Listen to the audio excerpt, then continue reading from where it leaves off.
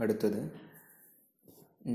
സുതൂർ നമുക്ക് വരികൾ വായിക്കാം. താലിയ താഴെയുള്ള വരികൾ വായിക്കാം. ലിൽ ഇമാം ഷാഫിയായി റഹ്മത്തുല്ലാഹി അലൈഹി ഷാഫി ഇമാമിന്റെ വരികൾ നമുക്ക് വായിക്കാം. വനക്ത ഷിഫു നമുക്ക് കണ്ടുപിടിക്കാം. മിനൻ നസ്വി.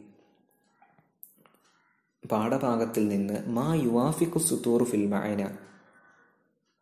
ഈ വരികളോട് യോജിക്കുന്ന ഭാഗങ്ങൾ നമുക്ക് പാഠഭാഗത്തിൽ നിന്ന് കണ്ടുപിടിക്കാം. ഇനി നമുക്ക് ആ വരികൾ നോക്കാം.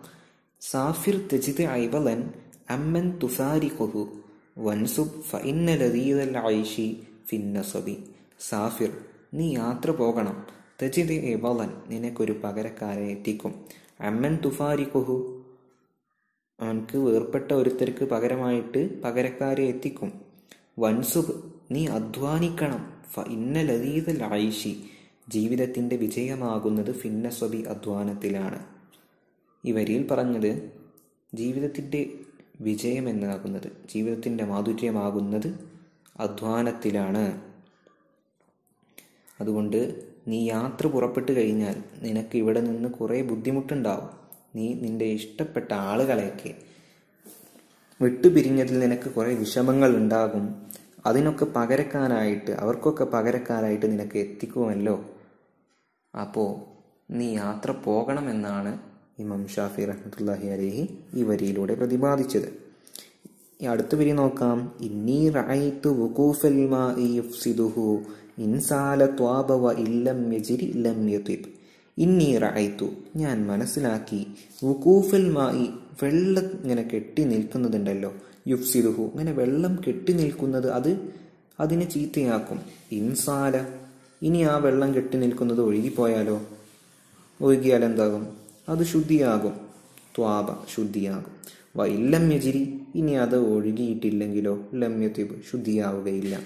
അപ്പോൾ നമ്മൾ യാത്ര ചെയ്യാതെ ഒരു ഭാഗത്ത് തന്നെ നിന്നാൽ നമ്മളുടെ ലക്ഷ്യങ്ങളൊന്നും സാക്ഷാത്കരിക്കാൻ നമുക്ക് കഴിയില്ല. പരാജയമാണ് ഉണ്ടാവുക എന്നാണ് ഈ വരിയിലൂടെ പ്രതിപാദിക്കുന്നത്. ഇനി നമുക്ക് ഇതും നമ്മൾ നേരത്തെ പഠിച്ച പാഠഭാഗവും തമ്മിൽ ഒന്ന് ബന്ധപ്പെടുത്തി നോക്കാം. പേജ് നമ്പർ പതിനാല് നോക്കാം. ഫിക്റത വനുലാഹിദുൽ കലിമാത്തിൽ മക്തൂബത്ത് ബിൽ ലൗനിൽ അഹ്മർ. നെക്റാഉൽ ഫിഖറ നമുക്ക് താഴെയുള്ള പാരഗ്രാഫ് വായിക്കാം. വനുലാഹിദുൽ കലിമാത്ത് അതിലുള്ള കലിമത്തുകൾ വാക്യങ്ങളെ ശ്രദ്ധിക്കാം. അൽ മക്തൂബത്ത് ലൗനിൽ അഹ്മർ ചുവന്ന കളറിൽ എഴുതിയ വാക്യങ്ങളെ നമുക്ക് ശ്രദ്ധിക്കാം. നസീഹത്തു വാലിദി എന്റെ ഉപ്പയുടെ ഉപദേശം. തഹുസുനി എന്നെ പ്രേരിപ്പിക്കുന്നു. അലാ തഖദ്ദുമ ഫിദ്ദിറാസ പഠനത്തിന് വേണ്ടി എന്നെ പ്രോത്സാഹിപ്പിക്കുന്നു പ്രേരിപ്പിക്കുന്നു. അനവാസിക്കുൻ എനിക്ക് ഉറപ്പുണ്ട്. ബി അന്ന അബുവാബൽ എൽമി അറിവിന്റെ കവാടങ്ങളാകുന്നത് ലാ യുഫ്തഹു അത് തുറക്കപ്പെടുകയില്ല. ഇല്ലാ അമാമൽ മുജ്തഹിദീൻ. കഠിനാധ്വാനം ചെയ്യുന്നവരുടെ മുമ്പിലല്ലാതെ. വലാബുദ്ധ കൂടാതെ കഴിയുകയില്ല. അതായത് അനിവാര്യമാണ്. മിനൽ ജിദ്ദി കഠിനാധ്വാനം കൂടാതെ കഴിയുകയില്ല. അതായത് കഠിനാധ്വാനം അനിവാര്യമാണ്. വൽ അമൽ പ്രവർത്തിക്കലും അനിവാര്യമാണ്. ലി തഹ്കീഖിൽ അഹിലാം സ്വപ്നങ്ങൾ സാക്ഷാത്കരിക്കാൻ. വഹാദിയിൽ ഫിക്ര ഈ ഫിക്ര ജഅൽതനി മുസ്തഇദൻ.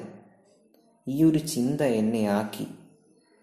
അല രഹലത്തിലൽ ബിനാദിൽ ബഈദ. ഒരു വിദൂരത്തുള്ള ഒരു നാട്ടിലേക്ക് പോകാൻ എന്നെ തയ്യാറാക്കി. ഈ പാരഗ്രാഫിൽ ചുവന്ന കളറിൽ കൊടുത്തിട്ടുള്ളത് ഏതൊക്കെയാണ്? അനവാസിക്കുൻ വലാബുദ്ധ ലാബുദ്ധ അനവാസിക്കുൻ എന്നതിന്റെ അർത്ഥം എനിക്ക് ഉറപ്പുണ്ട് എന്നാണ്. ലാബുദ്ധ എന്നർത്ഥം കൂടാതെ കഴിയുകയില്ല അല്ലെങ്കിൽ അനിവാര്യമാണ്. ഇത് രണ്ടും അറബിയിലുള്ള ഒരു പ്രയോഗമാണ്.